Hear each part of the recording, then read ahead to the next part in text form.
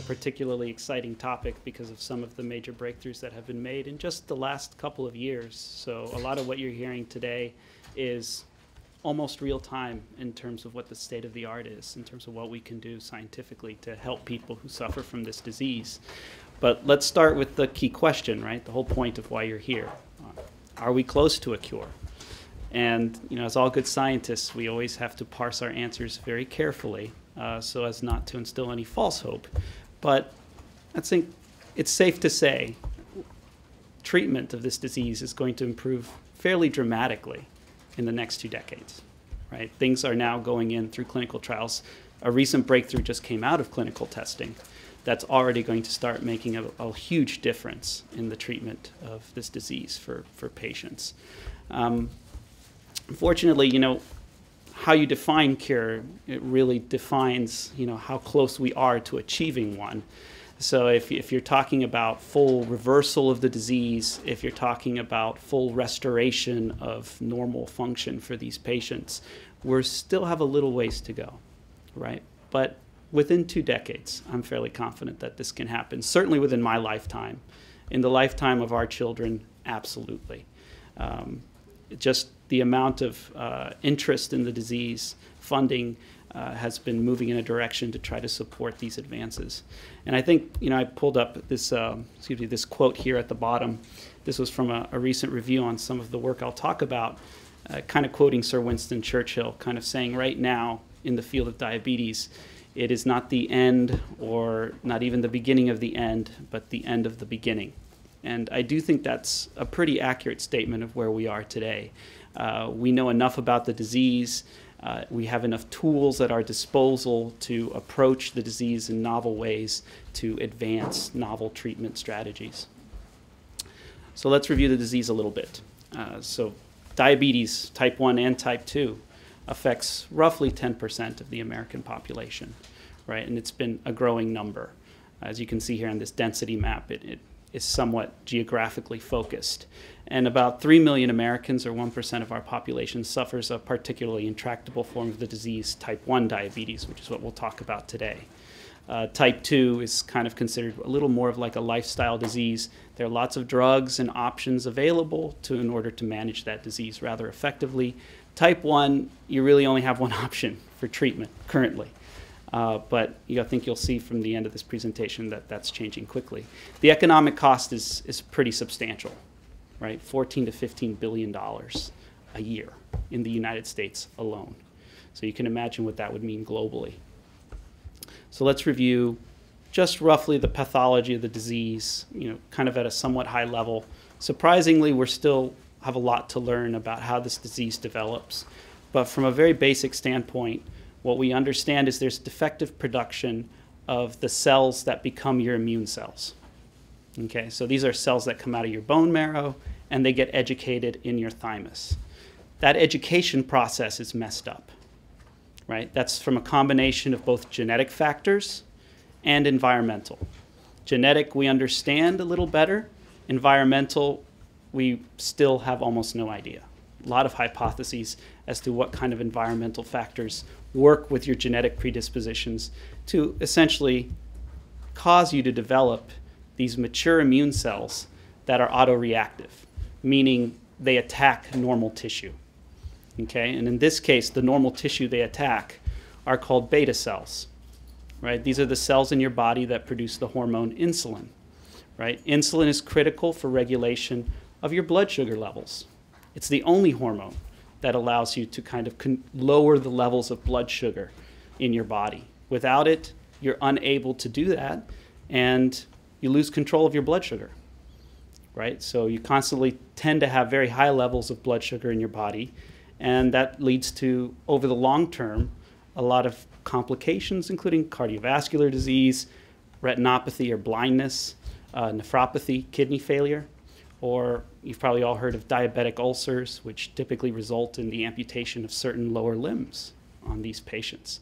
So these things don't happen right away when you develop the disease, they happen by accumulation over time. So typically late in life, uh, people who are type 1 diabetics suffer from a lot of these problems.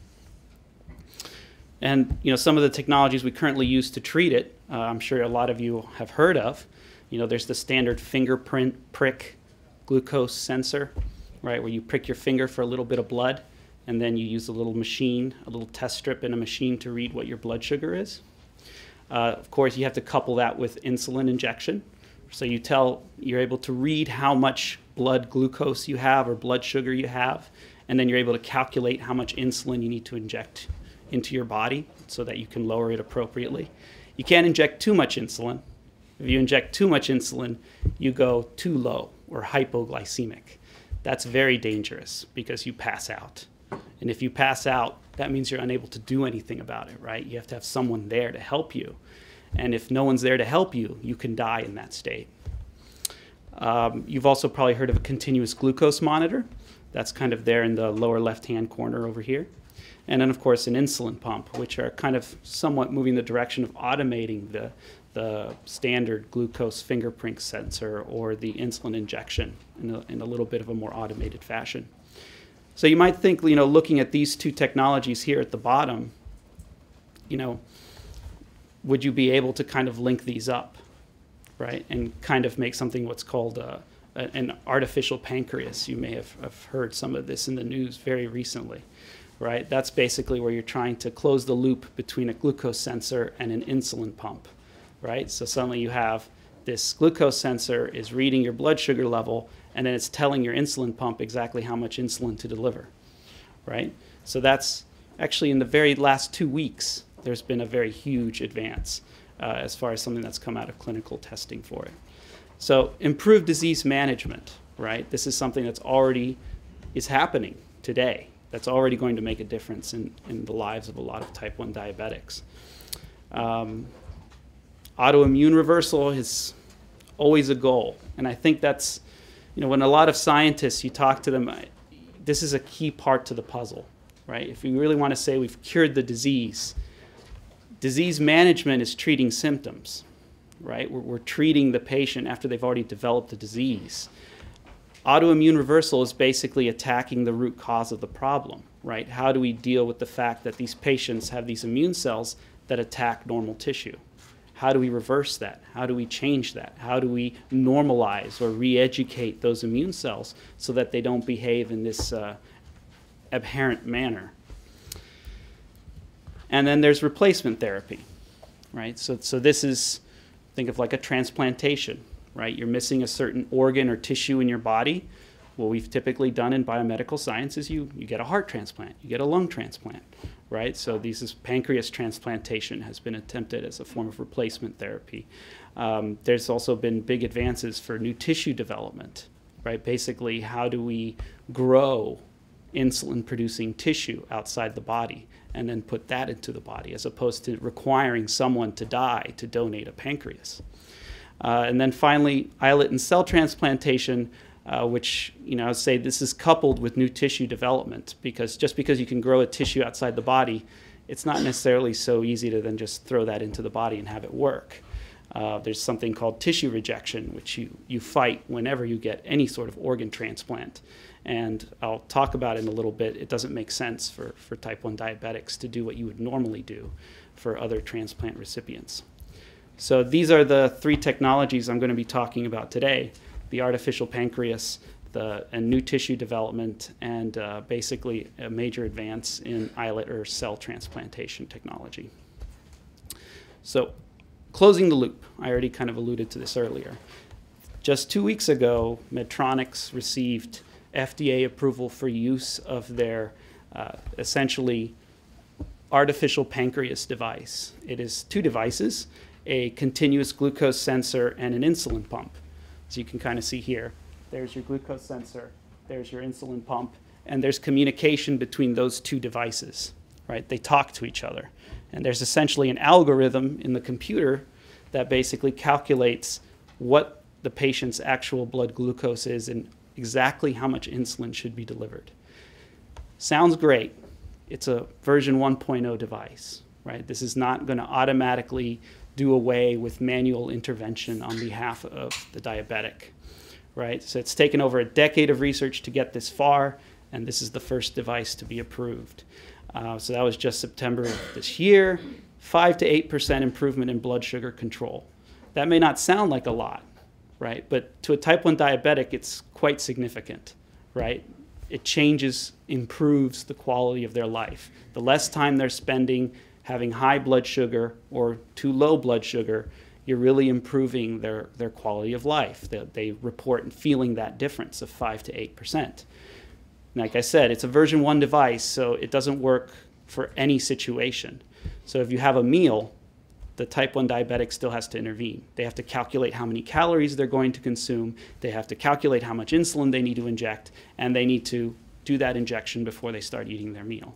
Right? So that's that's a part the technology hasn't quite figured out yet is how to be responsive in an accurate way to a sudden acute change in uh, blood sugar level like that.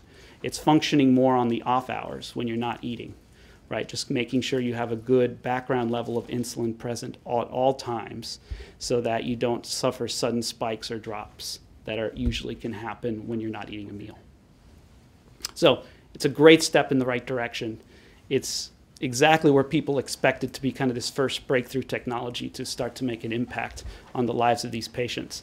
But version 1.0, there's some iterations that need to be done on this device to make it you know, further useful to these, to these patients. So now let's focus on the other two technologies. I'm going to talk about these two together, right? Because as, as I kind of alluded to, you kind of need the other technology to go along with the other one in order to make something that's useful for a patient. So, new tissue development and transplantation. So, why can't transplantation automatically solve all our problems? Well, if the alternative is not mortality, right? Meaning, you know, you need a heart transplant because if you don't, you will die, right? You need a lung transplant because if you don't, you will die, right? The equation, the, the pro con, the risk benefit ratio becomes a little obscure, thwarted. It doesn't make sense anymore, right? Why, does that, why is that the way? Well, because when you receive a transplanted tissue, you automatically have to go on lifetime immunosuppression. That means your entire immune system has to be suppressed. Okay? Otherwise, you'll reject that new tissue that's just been put into your body. That's not a cakewalk. That's not all of a sudden everything's hunky dory back to way things were. You get a cut, you go to the hospital. You get a cold, you go to the hospital. And just as a bonus, you now have a higher chance to develop cancer because you don't have an immune system to fight off any of the early stages of cancer formation. Right? So now, if you're a type 1 diabetic, we're talking about quality of life because of the ways we have to manage the disease, not mortality. Right? So for you, to choose between glucose monitoring and insulin injections and lifetime immunosuppression, guess what? You're choosing disease management, right? Because you'd rather be able to have an immune system and not have to worry every time you get a cold or a cut or a scratch or anything like that. And not get cancer, of course. The other major problem is donor tissue is limited, right? So 3 million Americans have type 1 diabetes. We do not have 3 million pancreases to distribute to them, right? So that's always a problem with transplantation technologies. Well, a major breakthrough was made two years ago in Doug Melton's lab at Harvard, and they basically figured out how to make mature insulin producing human cells from human embryonic stem cells and induced pluripotent stem cells. So those are kind of the more alternative to using embryonic stem cells. So either stem cell source they figured out how you could go from that stage of differentiation for that cell all the way to a mature insulin producing cell on the benchtop. Right? Doesn't require an organism at all to do this. So it's great big advance for stem cell biologists. This is kind of considered one of the holy grails. And you know, just to show a little bit of the data, all you need to kind of look at is these is on the bottom. That's actually isolated insulin producing tissue from a human cadaver. And then on the top, these are the actual SC beta cells, is what they're called in the paper. So these are the cells that are derived from stem cells that now produce insulin. All you need is look at these, and they look very similar. That's kind of all you need to see from these two photos. They basically successfully were able to make these cells, and they look exactly like the sorts of cells that you would isolate out of someone's pancreas. Now, like I alluded to, this is a great accomplishment, but it can't work alone. This solves the donor tissue problem. If you can now grow these in large bioreactors and large vats, you essentially have unlimited tissue you could give to type 1 diabetics. But if you just put these tissue into these patients, right, without immunosuppression, which you already know they don't want, right, this is what's going to happen. And this is in a diabetic mouse. These are the easiest graphs to read, right? For a mouse, you need to be below 200 to be normal. And as you can see in this graph, none of those curves go below 200, right? Regardless of where you put the cells, in the abdomen, in the kidney, or under the skin, you get no glycemic correction, no blood glucose lowering. These mice stay diabetic. Why? Because they have healthy immune systems. They're not immunosuppressed. As soon as the cells go in, they get rejected, right? So what's another way we could do this? What's, uh, what's that other technology that needs to be developed? We need a way to transplant tissue into these type 1 diabetic patients without using immunosuppression, but protect the tissue. And this is this concept of immunoisolation, right? Which I think is a very intuitive one. If you can't use drugs to suppress the immune system, you know, what if you could put the transplanted tissue behind some kind of physical barrier, right? Something that'll keep out the immune system, but you know has pores in it, holes, right? Holes that are small enough to operate by this principle scientists like to call size exclusion. Basically, just means small things can go through the pores. The things that need to go through the pores, things like glucose or sugar, insulin, right? So you need the cells to sense the glucose levels, so that needs to pass through. You need insulin to pass out in order to have an effect on the patient. But the pores need to be small enough such that factors of the immune system can't get through, can't touch the transplanted tissue. If they can't touch the tissue, they can't kill the tissue. And this is not a new concept. This is actually an idea that was formulated in late 60s, 70s, right? People tried to figure out can we do this? Do we have tools available that could do away with immunosuppression for transplant recipients? And what, what scientists found is there's this material called alginate, right? And, and you may not even realize it, but alginate is somewhat ubiquitous in our daily lives. You've eaten it, you've probably put it on your skin because it's a component of a lot of cosmetics. Um, when you go to the dentist, some of the, the, things the dentist uses on you are made of alginate. So it's a somewhat ubiquitous, you know, all over the place, and uh, say bio, what we like to say biocompatible, meaning it doesn't seem to cause us any harm by using this this material. And you know, people have realized that it has this versatility to it. So I mean, there's the structure there, but what's more important is you can isolate tons of it. It's basically produced by algae, seaweed, right? And You can basically purify it out from algae. And it has this unique property where it basically reacts with salt. And when it reacts with salt, certain types of salt, it becomes hard, right? It hardens. And that allows it to do many different things. So here are just uh, four examples of different biomedical technologies that use alginate because it has this special property to harden in salt, which is a very mild condition.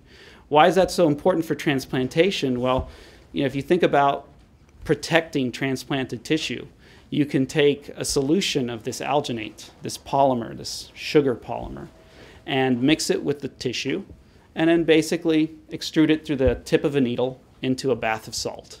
Very simple. I could show everyone here how to do this in 30 minutes, and you'd all be pros at it. It's that easy. And this is what happens.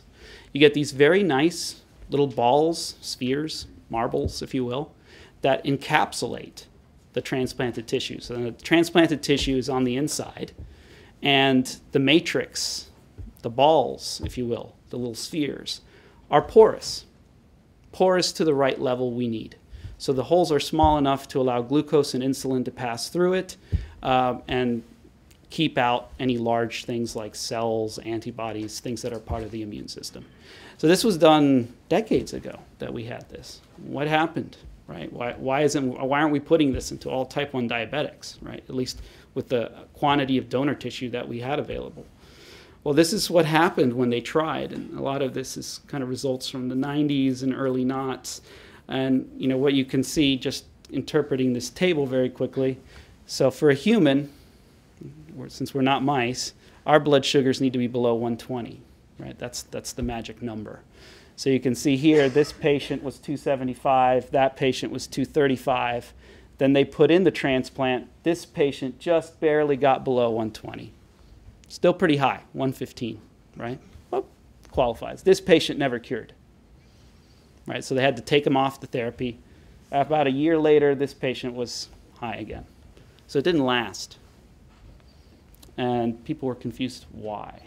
They didn't understand for a long time. And it took about a decade, but you know, we've kind of seen this sort of problem with other implantable materials, right? So turns out if you put something into your body that's foreign, your immune system recognizes it as foreign, right? And if it can't get rid of it, if you can't, say, pee it out, if you can't break it up, your body does its last resort, and that is isolation right? It basically deposits scar tissue all over it. This is everything that goes into your body. So, you know, if, if you ever got like, um, say, uh, you know, a, a, a, knee implantation, you know, you get an artificial knee or an artificial limb put in you, it ends up getting covered in scar tissue. The question just becomes is whether that scar tissue causes a problem for the function of that implant, right? And you can see here, like on the upper left-hand corner, this is a, an implantable delivery device, so this releases drugs into the bloodstream. And look, all of that kind of white coating on it, that it's almost like an envelope. That's all scar tissue that's been built up on the device, right? Another very important real world example is this is a pacemaker, right? So you remember how pacemakers work, it sends an electrical signal into your heart tissue so that your heart beats at the right rhythm. These is the very tip of that kind of what's called the pacing lead, what delivers the electrical current. And you know, without having something to combat the immune system response to it, it basically gets all this scar tissue built up around it, and that does affect the function of that device. So that you have to go in there and you need to replace that, right, to clean it up. Otherwise, your pacemaker will stop working. So this is called the, the foreign body response, right? It's just a more elaborate way of saying the immune system recognizes things that shouldn't be in your body and tries to do something about it by depositing a bunch of scar tissue. Well, you can imagine if you have these kind of little spheres or little microcapsules, however you want to call them, of insulin producing tissue. Uh, when you look into these patients where these tissues, these implants were implanted, this is what you kind of see over here. And just so you see all that white stuff that you kind of see, that's where the beads are, and they're completely covered, encased in this scar tissue. Now, unlike these other implantable materials, right, if what you have on the inside isn't living, maybe you have a chance that it won't affect your function so much, but there's cells on the inside of this. Having a bunch of scar tissue built up on the top causes some really large problems. You know, so you protect the don donor tissue physically from the immune system, but because the material itself, the alginate, is recognized as something foreign, the implants get covered with this scar tissue and that donor tissue will die because it no longer receives oxygen or nutrition. Right? It's, it's still a cell, right? It still needs to have these kind of basic elements in order to survive. And then you can kind of see up here on this picture on the right, this is from a non-human primate. So, you know, you can kind of see in a monkey, you can see the similar type of response that kind of happens. So that becomes a little more important later on in the presentation um, as to why that's a meaningful result. But the question then became all right, alginate gets us pretty far, nine tenths of the way there. It all has all these great properties for protecting the donor tissue. Uh, we just need to figure out that one extra one tenth. You know, how do we make it a little better? Can we make a better alginate? Can we improve alginate so that it's invisible to the immune system? It's, so it's not recognized as foreign and you don't get all this scar tissue buildup around it. And this is where I'm going to spend a little bit of time explaining because I, I, think this is, you're going to see this is actually becomes a very general, generalizable technology uh, that can improve a lot of implantation technologies. And how do you think about improving this? Well, you know, we knew alginate gets us there. So, you know, I was a chemist when I started on this project. You know, what if we just made derivatives? what are called analogs. What if we just decorated the polymer, right? What if we connected little drug-like molecules to the polymer chain so that the immune system sees something slightly different than just the basic structure of the polymer sugar backbone, right? It's kind of a very simple idea. What you know, kind of thinking like you're you're changing the paint color on your house, right? The immune system may see your house if it's white, but maybe we paint it a little blue. All of a sudden, it's invisible, right? Was kind of the idea. Uh, what do we use to, for those, those decorations, right? Those compounds that we're going to attach to, to the alginate? We had no clue, right? We, we, literally just didn't have enough information at the time to, to really make meaningful guesses. So we just had to make a lot of stuff. And we made almost 800 different kinds of alginate in order to find an alginate that was invisible to the immune system. And I only put kind of this, this next slide just to show you how hard it was, because it wasn't easy. Um, you know, from making 800 different types of, of alginates to determining how they are actually invisible or if they're invisible. How do you sift through that? It actually becomes an interesting problem. Uh, but you can see here we had to test things all the way up into, into monkeys, right? Because we were always worried about will this be translatable to humans? And unfortunately, in, in today's science, the only way to have some assurance of that is if you have some data in a non-human primate model, right, to give you some confidence that that can transfer. That's why that data I showed you on that previous slide was so important. It showed that that foreign body response was recapitulated in a primate as well as in the human, right? So let's see. So this is in mice. This is the result. I'm just going to kind of get to the chase. I'm going to show you how we were able to filter through all 800. This is naked alginate, so this is alginate that's already been tried in, in, clinically, and this is the big reason why it fails. In this experiment, we're basically imaging inside a live mouse. We have placed in these little alginate spheres. They show up in basically pink, purple, right on your screen. And all the little green dots there, those are immune cells. Now this is a video, so it's kind of accelerated about 40 minutes or so, advanced in 15 seconds or so. Um, what you'll notice is they're all kind of clumped up around this, this, these spheres, right? You see all this kind of aggregation right here. That basically means it knows it, that those spheres shouldn't be there, right? It's recognized it, it's mounting a response against it. These implants aren't going to make it. They're going to get covered in scar tissue in the next two weeks, essentially. If we take one of our new alginates, the, one of something we discovered from all of that trial and error that we did of the 800 that we made, this is what we ended up discovering. We found an alginate that this is what you see instead. Right? What you instantly see is this alginate, you don't see as many green dots in the space between them. And very satisfyingly, if you can kind of, I'll play that video one more time. Looks like it's running a little slow. But you can kind of see there some of these little green spots bounce off the surface, right? So it's not that the immune system doesn't know something's there. It knows something's there, but it doesn't know what to do about it, right? It can't mount a response. So this, this strategy we had of decorating the polymer, of decorating this material with different drug-like compounds, has changed the way the immune cells interact with the material right? exactly as we would have hoped.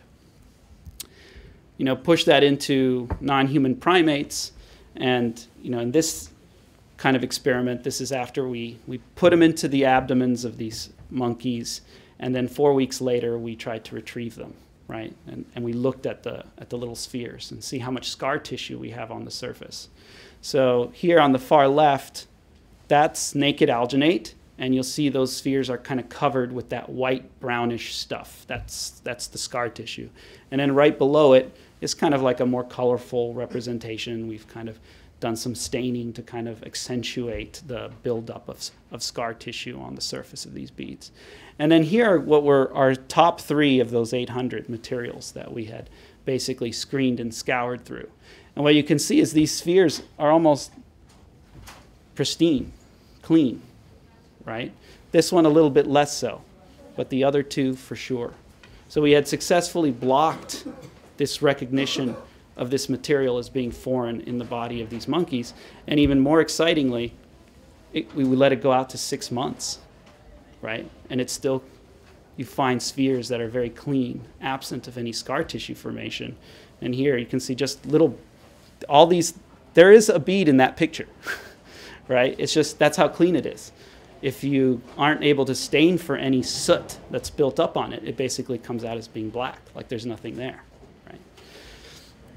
So does this work, right? Remember, this was coupled with that other major advance of having this unlimited tissue source now, right? So if we combine these two technologies, if you now have a material that's invisible to the immune system and now have these human insulin producing cells that are virtually unlimited, if you bring these two technologies together, do you have something that's basically a superior implant technology for replacement therapy? And that's what we tried to do. We worked with Doug Melton's lab. We encapsulated his cells. This is kind of what it looked like in one of our lead new alginate materials. And just to set the expectation properly, this is what happens when you do naked alginate and Doug cells. And now we've encapsulated them in naked alginate. There's no decoration on these alginates. And we saw how long we could uh, correct the blood glucose levels of these diabetic mice. 200 is the magic number for mice. And you can see only at the highest dose of Doug's cells, 15 days maybe, it went below 200, right? Not that promising, essentially. We use one of our new alginates. That's, this is what we get. So all three doses now worked. All three doses went below 200. And this is for three months. How about six months? right? And what's great about this one is we put a healthy mouse in here too. We tracked a healthy mouse for the same amount of time. So a non-diabetic mouse. So we could compare the two. How are we achieving this correction relative to a non-diabetic animal? And it's, you know, it's not perfect by any means, right? It's, it's not a perfect replacement, right? We're not putting in a perfect pancreas, right? There are some differences there, but think any diabetic will take this right? This is superior blood glucose control compared to what they're getting today. Just to show, you know, can it respond to a meal? So I, I told you the artificial pancreas, the closed loop device can't respond well enough to basically an acute spike like a meal consumption. Well, we can kind of simulate a meal consumption in these diabetic mice, and, and this is what we did. Uh, the top is basically the diabetic mouse, the pink curve. So you give them a bolus injection of glucose and you see how fast they're able to bring that blood glucose back down to below 200 to normal levels. So the diabetic mouse does not correct. The healthy mouse corrects in blue, like that, and our implanted mouse is there in green. Again, it's not perfect, but it's close, right? It's pretty close. I show, I've shown this to, to donors at JDRF events, and they look at this and they, they kind of run up to me as when can I when can I access this technology? it doesn't quite work that way, you know. this is just mice, right? We still have a little ways to go.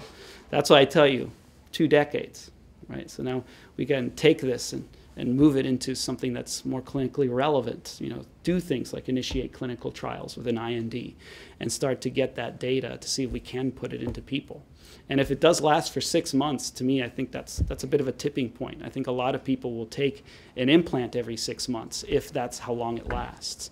But we don't know the answer to that question yet. I can't tell you how long these implants last. We've never pushed it all the way to failure because we have to publish papers, right? We can't wait years. So six months was already a long time to wait. And just to kind of point out, sometimes you never really know what you're going to get in science. Um, you know, I had this idea, you know, if it really was these decorations on this alginate that was making all the difference, you know, why is there anything special about alginate? Well, why would be any material, right?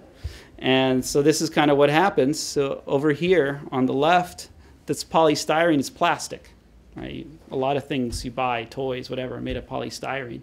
You put into the body, it's nasty. Look, all, all of these are little beads of plastic and they're basically all stuck together, right? They've, it's all that scar tissue holding it together. It's actually kind of gross to pull out of the mouse.